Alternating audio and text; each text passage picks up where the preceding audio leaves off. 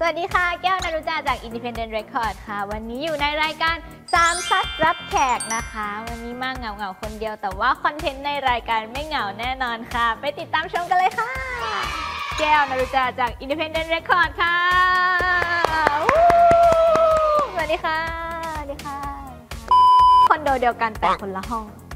ก็คอนโดเดียวกันก็โอเคใช่ไหมคะ แต่มันไม่ได้หมายความอย่างนั้น มันหมายถึงให้ 4 คนน่ะอยู่ในห้องเดียวกัน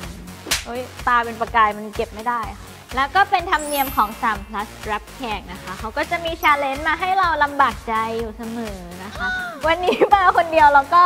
เป็น challenge ง่ายๆใช่ไหมคะ ง่ายแน่นะ อันนี้เลือกยากมากเลยค่ะโหเพราะว่าทำไม่ได้ทั้งสองอย่างตอนเล่นเราเล่นถึงแม้อากาศจะหนาวแต่ใจเราอบอุ่น